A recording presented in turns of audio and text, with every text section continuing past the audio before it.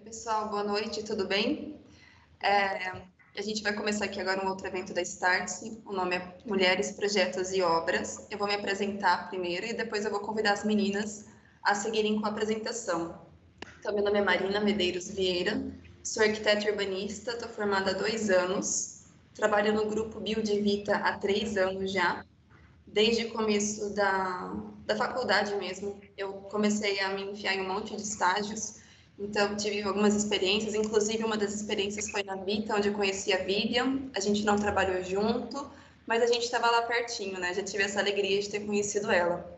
Voltei para a empresa, estou há três anos, sou muito feliz no que eu faço. Hoje eu trabalho no departamento de produto, trabalho com uma equipe maravilhosa, lido com pessoas assim sensacionais de todas as áreas e é uma alegria muito grande.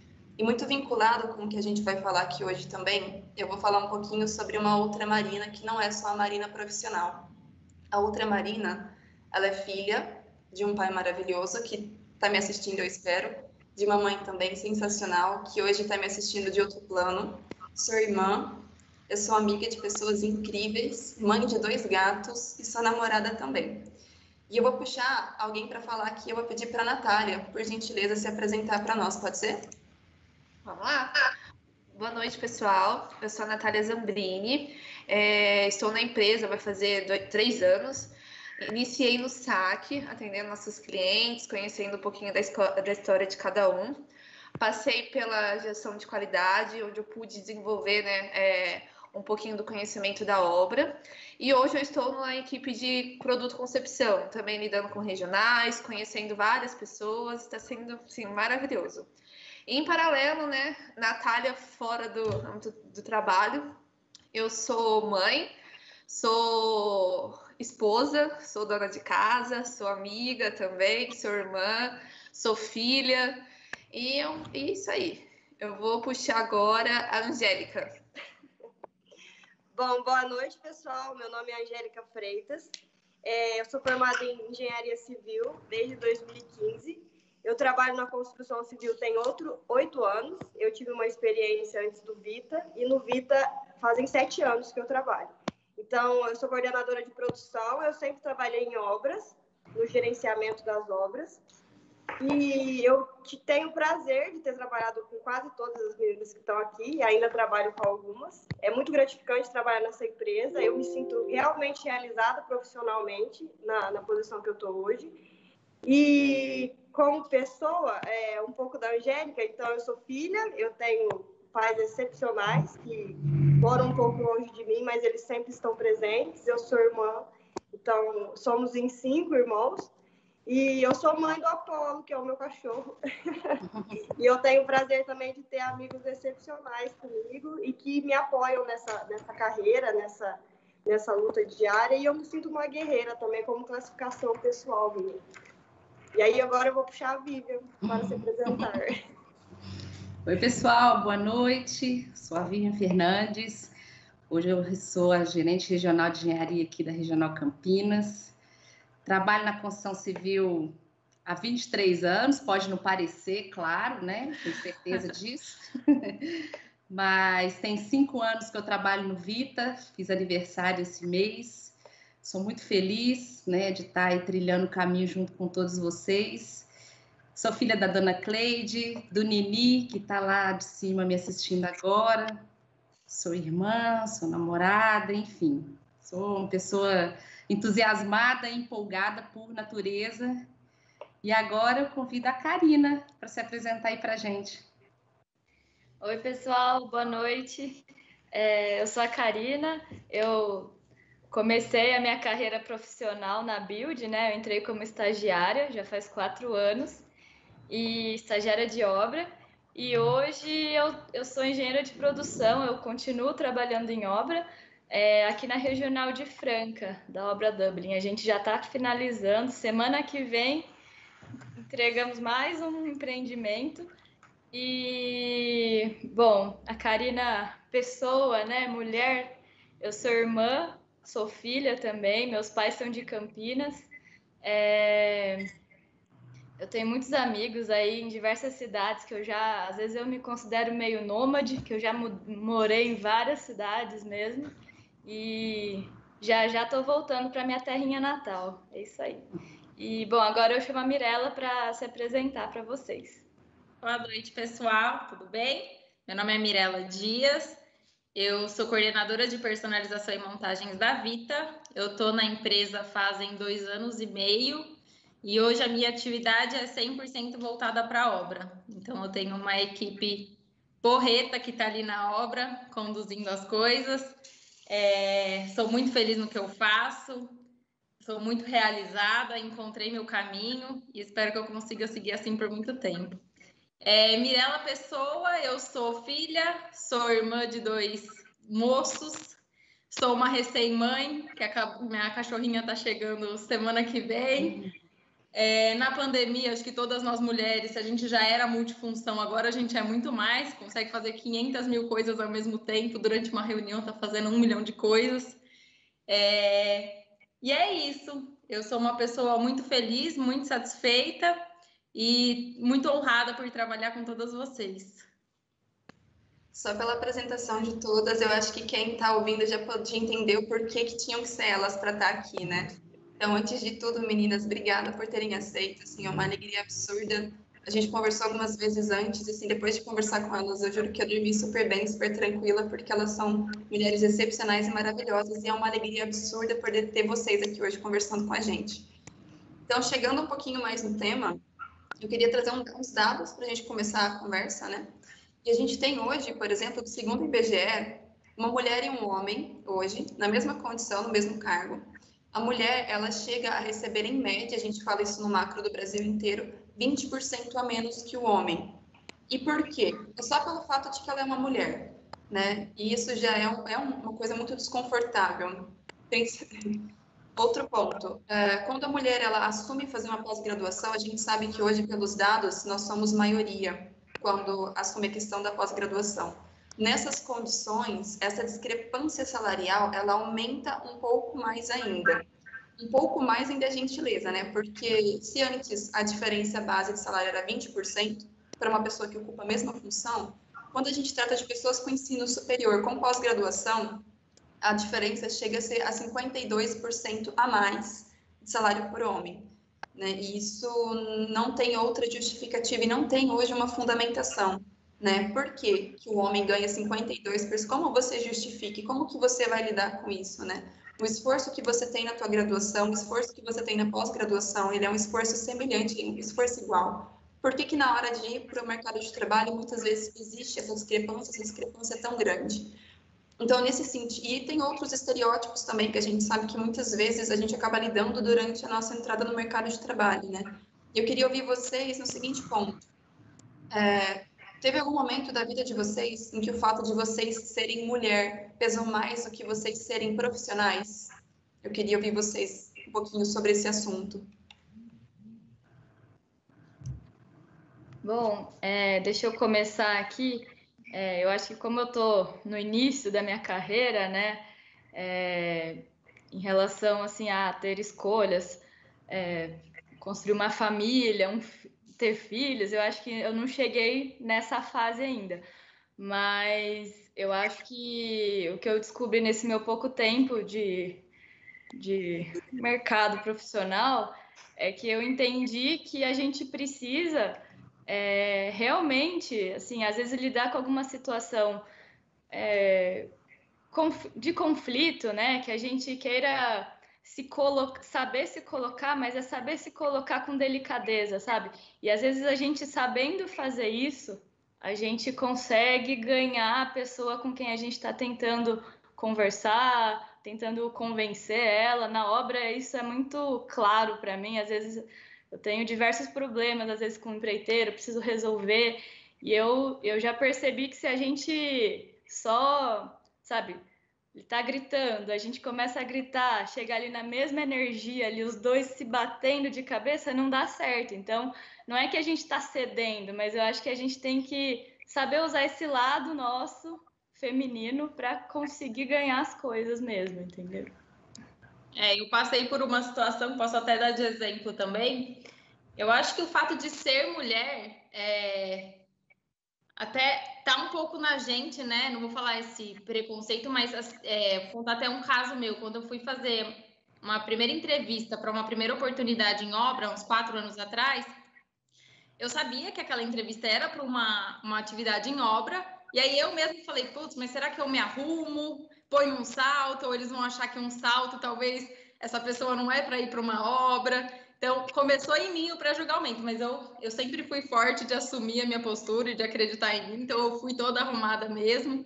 E eu fiquei sabendo depois que houve esse comentário de tipo, essa pessoa vai para a obra, essa menina vai para a obra. E só que isso acaba tudo a gente conseguindo mostrar o nosso potencial. Acho que mulher é, é muito forte, né? A gente consegue do nosso jeito, com os nossos artifícios, a gente tem uma, um jeito de conduzir as coisas. E eu falo de uma maneira geral, né? É, a gente tem um consentimento, né? Que que é, é muito bom assim para gente. Então eu tive um caso bem parecido com o da com o da AK de de ter um conflito, né? No primeiro momento eu tive um conflito com alguns engenheiros de obras e aí eu me vi no impasse do tipo, é, o que, que eu faço? Ou eu sigo nessa briga ou eu resolvo porque eu vou ter que conviver com essa pessoa. Então nada nada mais do que uma conversa, explicar cada um está fazendo o seu trabalho, a sua atividade e tem que existir um relacionamento e, e foi isso, né? Bastou uma conversa, a gente resolveu. Hoje a gente é parceiro, amigo. É, acho que todo mundo entendeu que cada um tem o seu espaço, cada um tem o seu trabalho, ninguém está ali para criticar, para ofender ninguém, e todo mundo merece ser respeitado né, na atividade que faz, todo mundo tem o seu valor.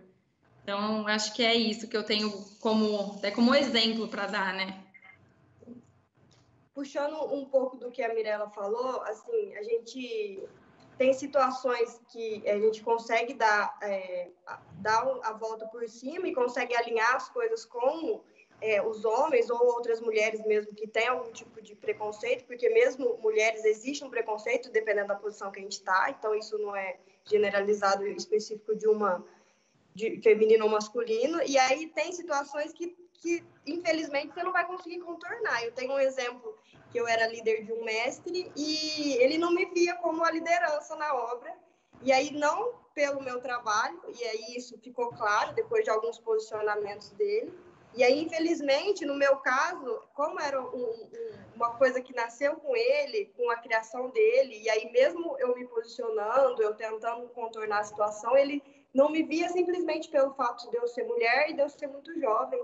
E querendo ou não, ele era bem mais velho que eu, tinha mais experiência, e ele achava que por eu ser mulher e eu, eu ser mais nova, eu não, podia, eu não podia ser gerente da obra, ou não podia tocar as coisas do jeito que estava acontecendo, e aí, infelizmente, a gente não pôde trabalhar mais junto.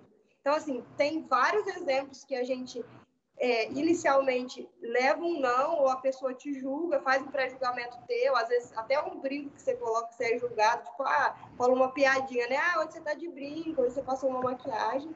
E, e aí você vai contornando, mas tem situações que infelizmente você não vai conseguir contornar. Eu poderia ter desistido, mas eu não ia desistir por um, por um, por um ensinamento que era dele, por uma coisa que eu não acreditava. Então, assim, eu acreditei no meu potencial, eu sabia que o problema não estava exatamente comigo e que naquele caso não tinha mais o que eu fazer, porque eu tentei de tudo para conseguir estar alinhada com ele, para ele conseguir realmente me ver na posição que eu estava, mas eu não consegui, infelizmente.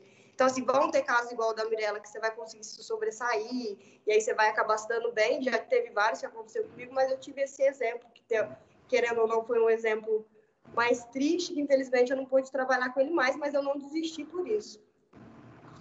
É, e complementando um pouco, é, no meu caso, eu sempre tive uma, uma carreira mais gerencial, é, eu não ficava tanto né, em campo, né, que é um ambiente mais inóspito, vamos assim dizer, e culturalmente um ambiente mais masculino.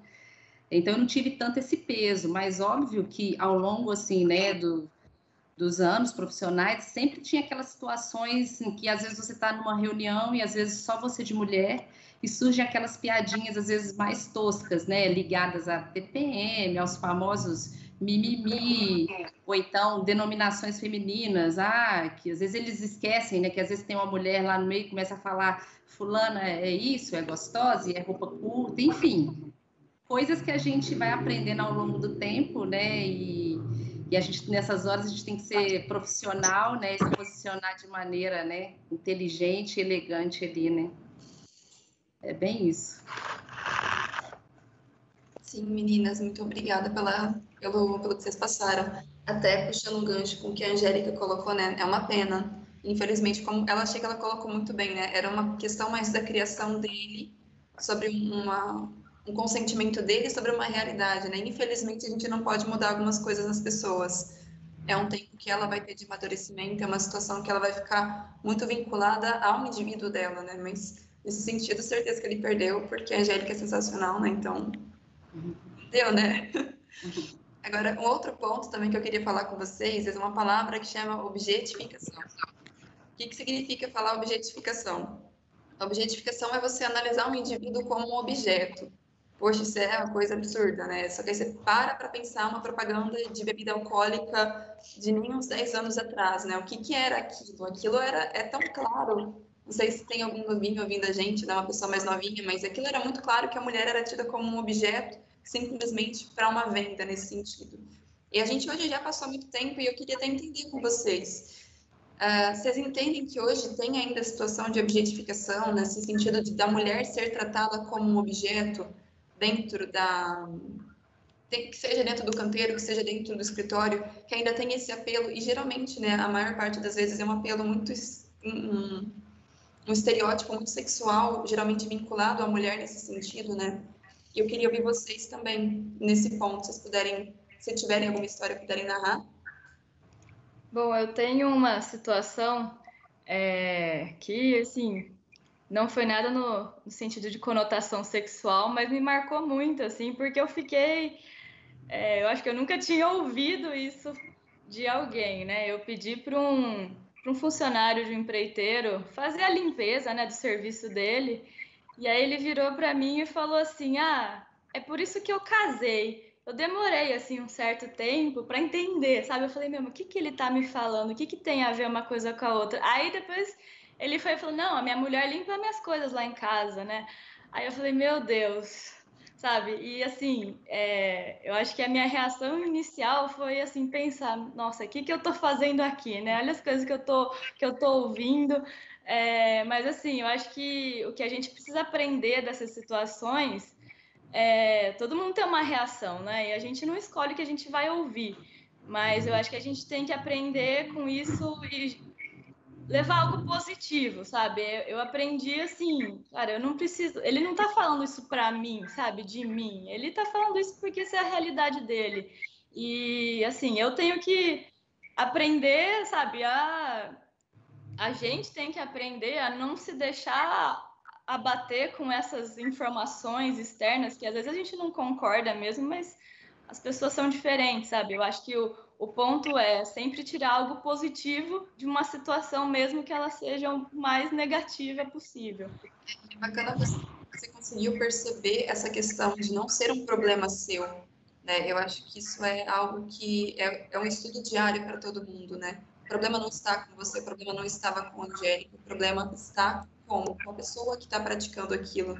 Muitas vezes é confuso conseguir dissociar as duas coisas. Mas é conforme você colocou, né, que colocou muito bem também, por sinal, que entender que é um pensamento dele para com ele e aquele pensamento não te pertence. Aquilo não é seu. Né? Isso é ótimo. Eu tenho um, uma coisa que aconteceu comigo também em obra, que teve uma época que eu tentei fazer, mas isso faz um tempo já, eu tentei fazer uma negociação com o empreiteiro e aí eu meio que perguntei o valor para ele, ele falou que dependia se eu fosse sair com ele no final de semana ou não, ia ser o valor que ele ia passar do serviço. E aí, na época, eu acho que isso até pode acontecer com outras mulheres, eu fiquei com medo de passar isso ou contar para as outras pessoas e as pessoas acharem que às vezes eu tinha me oferecido ou sei lá, a roupa que eu tava, o cara poderia entender que, que o jeito que eu me portei não era o jeito certo, e aí ele acabou oferecendo porque eu dei abertura. Então, na época eu fiquei com medo, eu acabei guardando para mim, e aí eu passei a ignorar as piadas dele, foi o jeito que eu, que eu me vi saindo da situação. E aí, depois de um tempo, eu comecei a enxergar que realmente o problema era dele, como a Karina falou, e é uma, era uma cultura dele, às vezes ele achou que daria certo, né, fazer isso, entre aspas, e aí, até recentemente, aconteceu de novo com a mesma pessoa. E aí, como você fica mais calejada, você acaba ignorando novamente ele. E aí é um tipo de situação que eu não via como falar alguma coisa para ele resolver. Então eu preferi ignorar, ter ciência comigo que a culpa nunca foi minha dele, dele fazer esse tipo de comentário comigo, porque eu nunca dei abertura, e, e seguir, sabe? Às vezes tem situações que não tem como fazer isso, simplesmente ignorar, mas no meu caso foi o que eu consegui fazer na época. E tem esse problema também das vezes da mulher se achar culpada. Ah, será que eu dei abertura? O jeito que eu falei, ele achou que poderia estar assim? A gente nunca é culpada. Culpada é a pessoa que, que teve é, a coragem de falar uma coisa dessa no meio de, de, de, um trabalho, de uma obra, uma questão profissional, e aí ele tentar envolver outros tipos de coisas. É, bom, contando um pouquinho né, da, de uma história que eu vivi, existem situações que a gente acha que nunca vai passar, né? Mas com muita sorte não, me afetou psicologicamente a ponto de deixar traumas ou marcas eternas e tal, mas como se diz, esquecer a gente nunca esquece, né? O fato é que no meu primeiro estágio, né, é, que era numa obra, o dono da empresa teve, né, vamos falar assim, né, coragem de assediar a estagiária aqui que vos fala, né, da época, na época com míseros 18 anos, e ainda sem malícia nenhuma, né? E assim, começou com um ato simples de colocar a mão na perna, no meu joelho, aquela coisa assim, apavorante. E o pior não é isso, né? O pior é que aquele indivíduo ainda fazer isso com um carro em movimento, né? Não tinha nem como para onde correr, por se eu pulasse, mas enfim. O fato é que essas coisas a gente tem que superar, né? E graças a Deus, na época, fui bem forte para. É, uma semana depois, eu consegui sair daquele lugar e, graças a Deus, entrei para uma, uma grande construtora e, e isso passou. Mas, né, a gente está sujeito a isso, né? Em qualquer lugar. E aí, nesse sentido, Vivian, até para a gente poder, porque até quem estiver ouvindo, né, tem espero que tenham muitas pessoas uhum. ouvindo aqui também, né? E foi até um comentário, acho que você tinha feito antes, sobre a questão de achar que a pessoa é tarada, né? É. Não é esse o ponto. Não é uma questão, não é isso que está acontecendo. A pessoa não tem o direito, é. não tem o direito de encostar em você, ela não tem o direito de tomar uma liberdade que não foi conferida a ela, né, nesse sentido. Então a gente comenta até aqui dessa forma para que se tiver alguém ouvindo passando por uma situação nesse sentido, entenda, isso não é normal. É. Isso não é uma coisa normal de se acontecer. Alguém que chega para você e faz uma brincadeira conforme fez a brincadeira com a Angélica, não é uma brincadeira que se faça no ambiente de trabalho. Nós estamos falando aqui sobre questão profissional. Todos nós somos profissionais. Então, se alguém já toma um assunto completamente desvinculado dessa forma, né, totalmente subjetivo, a ideia é, primeiro, conforme as meninas colocaram, isso não é culpa minha, ele está tirando uma liberdade que eu não dei.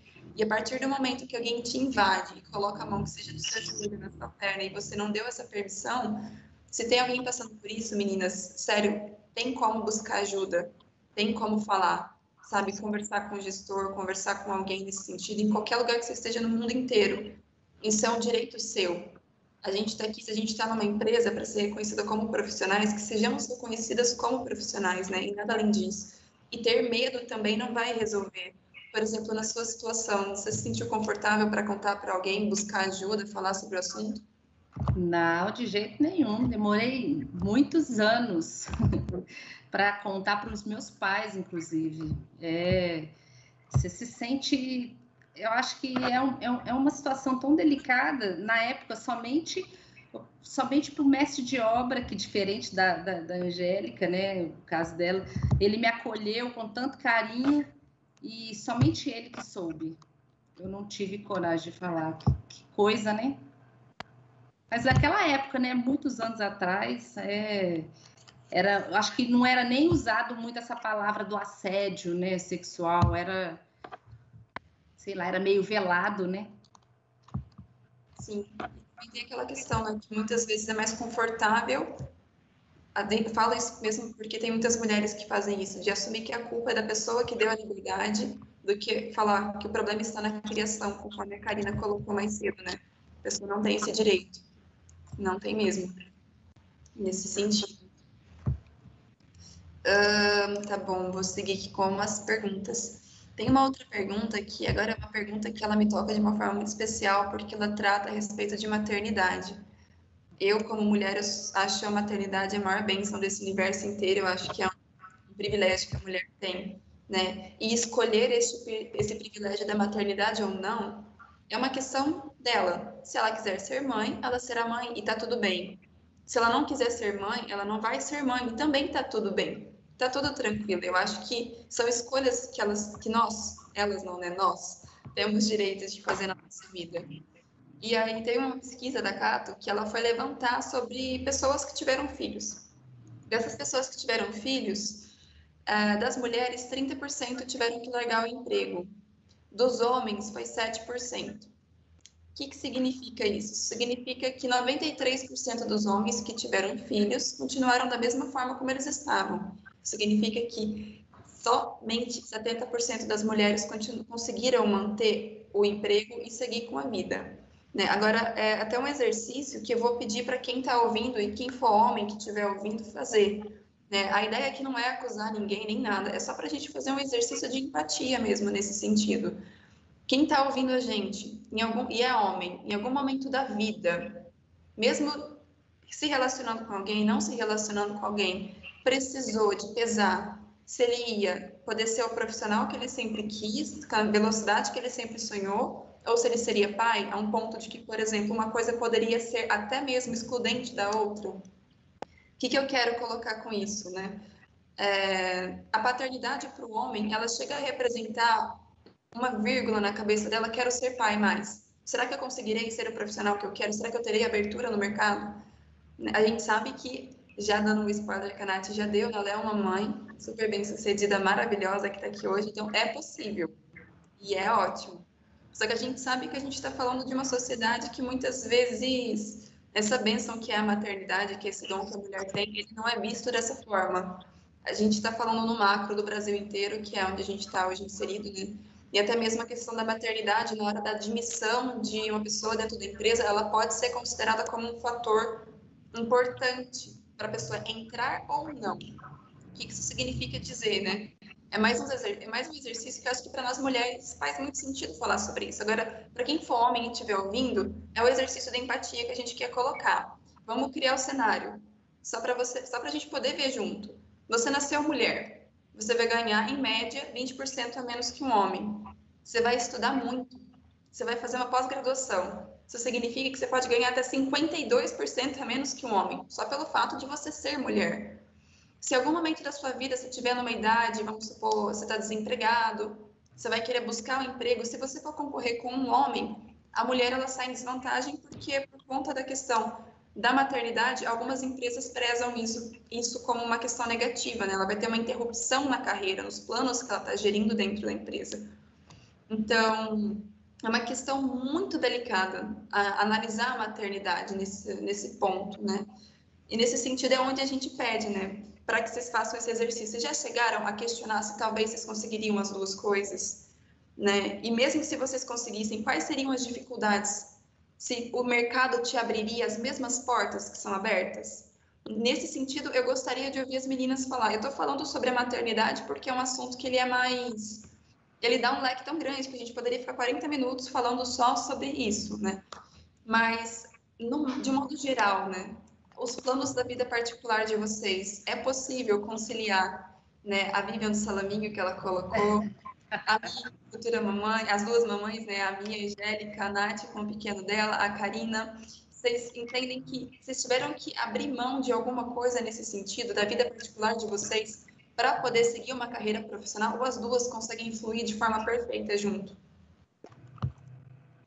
Bom, puxando o gancho aqui, é, eu acho que assim, é, é possível sim, é, mas não é fácil. A gente precisa estar muito certo internamente é, para a gente é, decidir o que a gente realmente quer, né?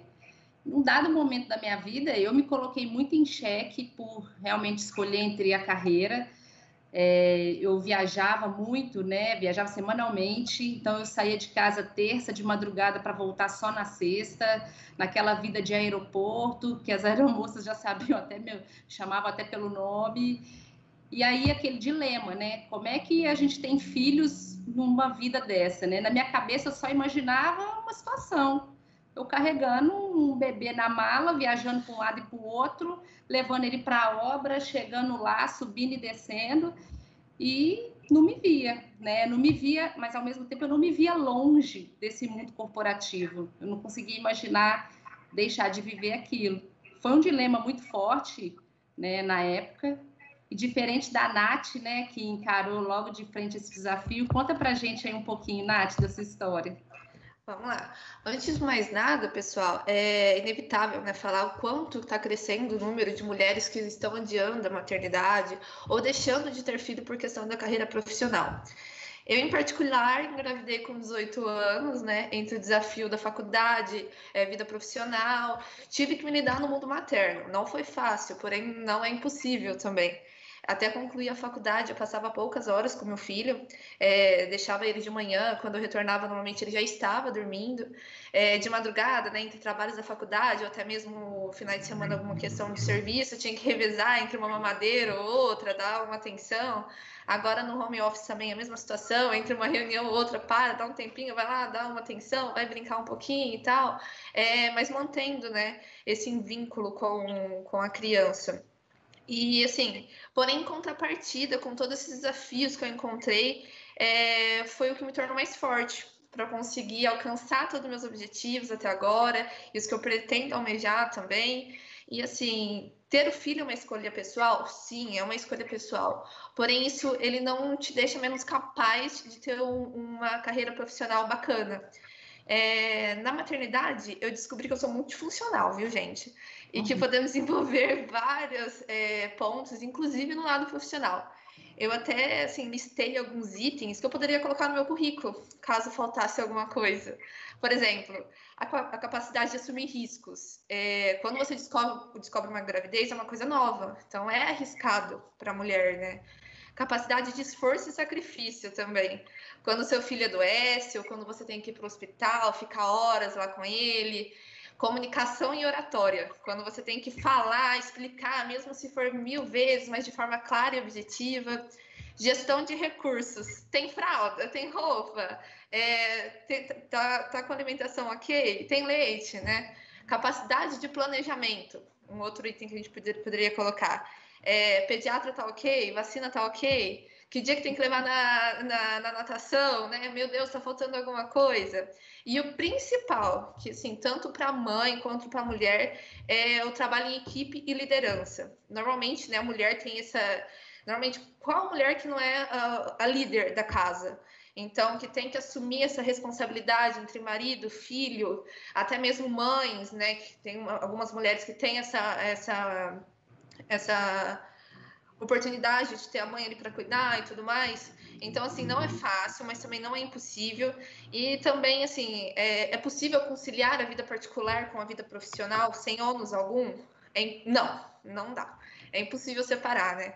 A mesma mulher que está ali em uma reunião durante a, o expediente ou resolvendo alguma demanda é a mesma que quando finalizar 10, 18 horas, ou enfim, é o horário que ela terminar, vai cuidar de uma casa, vai cuidar de um marido, vai ser amiga, vai estudar. Então, assim, não tem como desligar, não tem como falar que a mulher são, ou mulher ou qualquer ser humano são duas pessoas. É impossível é, não, não ser, né, não compartilhar e não vincular essa vida profissional com a vida pessoal. Então é isso, gente. Ô, Nath, agora eu quero te fazer uma pergunta, Má, vou conduzir aqui. Ai, meu Deus. Curiosa. É, você teve alguma experiência negativa ou positiva para contar para a gente, para conseguir se inserir no mercado de trabalho, sendo que você foi mãe muito jovem, né? Como que foi isso para você? Sim, sim. É, assim, normalmente, né? Vou, vou falar uma experiência antes de eu ser mãe. Antes de ser mãe, é, eu queria muito ingressar numa empresa, né? No qual consegui participar de um processo seletivo, mas que eu estava grávida até então. E assim, infelizmente eu não fui recrutada por essa questão, estar grávida, então a pessoa falou assim, ó, não vou te contratar nesse momento por questão da sua gravidez. Então assim, naquele momento eu fiquei muito chateada, porque era uma coisa que eu queria, que eu almejava, era uma empresa assim, que realmente estava na minha carreira profissional é, entrar, né? Mas enfim, entendi que não era o momento, É, fiquei chateada nessa, nesse, nesse momento específico, mas depois foi tudo tranquilo. E durante também, né, a, até eu conseguir entrar na vida, vamos dizer assim, das, dos outros é, trabalhos no qual é, eu tive a oportunidade de trabalhar, teve uma questão de, por exemplo, quando você vai fazer a entrevista de emprego, tipo, quando você fala que é mãe, ah, mas você tem oportunidade para é, disponibilidade de viajar? Mas você tem disponibilidade de horário? O que, que é essa disponibilidade de horário? Entendeu? Sim, eu tenho disponibilidade de horário, mas assim, eu vou conseguir conciliar entre ser profissional e ser mãe, ser esposa, ser, enfim, qualquer outra função que você exerce sem ser na carreira profissional. Então, são vários poréns que eles vão colocando é, para te contratar de fato. Então, assim, ser mãe não, não é uma barreira. Pelo contrário, eu vejo muito dentro da empresa mesmo, no mundo corporativo, no nosso mundo Vita, quantas mães maravilhosas que não tem. É, defenda a bandeirinha de cada uma e quantas coordenadoras que são mães, assistentes, enfim, analistas e com, consegue desenvolver esse trabalho assim perfeitamente. Então, galera, dá para fazer assim, lógico, é um pouquinho mais difícil, é um pouquinho mais complicado, mas não é impossível. Obrigada, Nath. Que bacana te ouvir, Nath. Maravilhosa você. Todos vocês, né? Na verdade. É que é muito bom ouvir e é muito bacana ouvir que ter o filho dá força, né? Geralmente, quando a gente, quando eu comecei o diálogo, você pensa, putz, ter um, o fato de ter um filho já é um fator que deprecia a mulher no mercado, mas ter um filho dá força para a mulher ir para o mercado. E mesmo diante de tudo isso que a gente foi pontuando, é o que te mantém aí na engrenagem, fazendo rodar tudo isso, né? E isso eu acho, assim, maravilhoso. É muito bom poder ouvir isso, muito bom mesmo né? Muito bacana. Pessoal, para a gente poder encerrar, infelizmente, porque tem que encerrar, é, eu queria falar para vocês assim, tem um termo difícil, ele chama sororidade, ele é foneticamente bem feito, mas ele significa, vou até ler rapidinho, é a relação de união e aliança entre as mulheres, e compartilhar os mesmos ideais e os mesmos propósitos, sabendo que uma pode contar com as outras. Nesse sentido, é estender a mão para a colega que está do lado deixar muito claro, aqui não somos rivais, a gente não está brigando por nada. Não é a mulher que é mãe que quer brigar com a mulher que optou por não ser mãe. Todo mundo aqui tem uma dor igual, tem uma alegria igual. Todas somos iguais nesse sentido, né? Então a gente quer estender o braço aqui uma para a outra e poder falar não só entre nós que estamos aqui na chamada, mas com todas que estão nos ouvindo, com as que não estão, que vão ficar sabendo desse diálogo, né? Que mensagem vocês dariam para quem está nesse mercado aí, nesse mundão de Deus? Bom, é, eu acredito muito que um caminho a ser seguido é a gente está embasado numa palavra importante que é confiança. Eu falo confiança em dois sentidos: confiança em si próprio, na sua capacidade, na sua vontade de fazer acontecer, nos seus conhecimentos, no seu potencial. E o outro sentido seria a confiança nos seus parceiros, nos seus colegas, nos seus líderes e liderados, sejam eles homens ou mulheres mas em se tratando das nossas companheiras, né, das nossas pensando na sororidade, por que não criar esse laço, né, de companheirismo, compartilhar as experiências, né, o conhecimento, porque a gente tenha cada vez mais destaque nesse mundo corporativo tão competitivo e muitas vezes assim desleal, né? Eu apoio esse movimento, conte comigo para o que precisarem, né? E agora eu passo a bola aí para minha colega Mirella aí, para a gente encerrar. Bom, o que eu tenho para falar é que a gente tem que acreditar na força da mulher, né? A mulher é muito forte, a gente tem um poder que é enorme. E eu acho que o mais importante é comunicação. A gente tem que ter uma comunicação clara, a gente não tem que ter medo de não saber as coisas, a gente tem que ser humilde de falar que a gente não sabe, de querer conhecer, porque conhecimento é tudo nessa vida, né?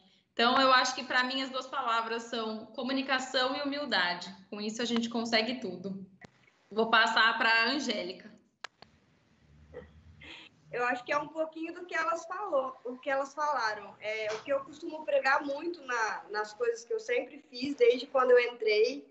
É, eu sempre acreditei no meu potencial e aí eu sempre dou o máximo que eu sei que eu posso dar para fazer um serviço bem feito, independente se eu sou mulher ou não, porque normalmente é um trabalho direto em obra, então os pares que vão ter a mesma função são homens. Então, assim, além daquele desafio pessoal de você querer fazer o melhor, tem aquele desafio, tipo, ah, o meu ficou melhor, ou assim, não de, de é aquele desafio natural, sabe? Aquela, aquela é, de você realmente saber que você pode fazer melhor do que eles, independente de você ser mulher, de você ser homem. Então, você sempre tentar entregar o seu melhor. É o que a Mirella falou, que a Mirella falou. Acredite em você. Não pensa que é porque você é mulher, você vai entregar, apesar de você ganhar, pode até ganhar menos ou não, mas não pense que por você ser mulher, você vai entregar um serviço pior do que o do homem. Então, você pode entregar igual ou melhor. Provavelmente a gente vai entregar melhor. Vou passar a palavra para a Nath, para ela fazer a conclusão dela. Tá. É, pessoal, né? Hoje nós somos exemplos de mulheres na liderança. Vivian, Angélica, enfim, tem várias coordenações aí que estão sendo guiadas por mulheres. E isso me faz com que eu fique inspirada. Eu sigo mesmo vocês como inspiração para chegar até lá, assim como eu, como várias mulheres aí da, do time do corporativo. E assim, quem nunca ouviu, né? que as mulheres são de sexo frágil. Sim, a gente tem a nossa fragilidade, mas devemos ser empoderadas, é, ter o nosso instinto de, de habilidade, desenvolver nossas habilidades, o espírito de resiliência. Então, assim, é, ser direto. Resiliência, resiliência, resiliência, ter essa habilidade, ter esse desenvolvimento. E é isso que eu, que eu concluo e eu passo a palavra agora para cá. No mudo. No mudo. Para finalizar, acho que juntando um pouco do que todo mundo falou, é, que eu deixo aí de mensagem para quem está ouvindo, independente de ser mulher ou homem, independente de orientação sexual, eu acho que para a gente ter conseguir aquilo que a gente quer, o primeiro passo é a gente se conhecer e conhecer aquilo que a gente quer, saber o que queremos. Então, eu, eu tomo isso muito base para mim mesma, para minha vida pessoal, sabe? Eu acho que se a gente tem um foco, tem um norte ali, a gente consegue traçar um caminho e percorrer de fato por esse caminho e fazer uma, uma boa trilha, né? Essa mensagem aí para todo mundo, autoconhecimento. Meninas, muito obrigada por vocês terem aceito o convite. É uma satisfação poder estar aqui com todas vocês. Quem está ouvindo a gente também, muito obrigada por estarem ouvindo, a empresa por ter aberto esse canal para a gente poder falar sobre esse assunto. Gratidão que não cabe dentro de nós. Nossas colegas que estão aí depois desses conselhos, gente, essa é que nem que eles colocam, né? Foguete não tem ré.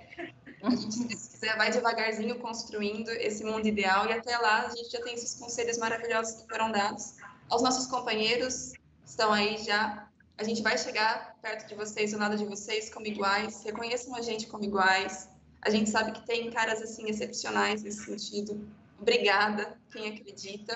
E eu queria encerrar só compartilhando rapidinho com uma tirinha e agradecer a todo mundo mais uma vez pela, pela participação. Que é essa tirinha aqui, a nossa meta. Não sei se vocês estão vendo a tela, tá aparecendo? Sim. Ah. Então a mãe pergunta: ela é bonita?